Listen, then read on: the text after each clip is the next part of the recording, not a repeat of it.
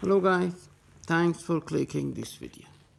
As you can see I have one mini drill for the circuit board's holes. As you can see I try to make motor speed control with 3.7 volt battery to drive the motor drain I used two LM358 dual channel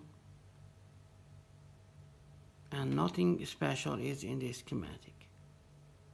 I should say we are not able to use one dual channel operational amplifier because of, because of the noise between two channels will not let the uh, frequency to be stable and the motor will not work pretty nice.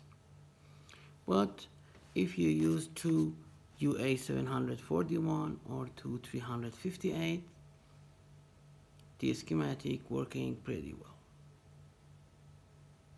The protector diode is necessary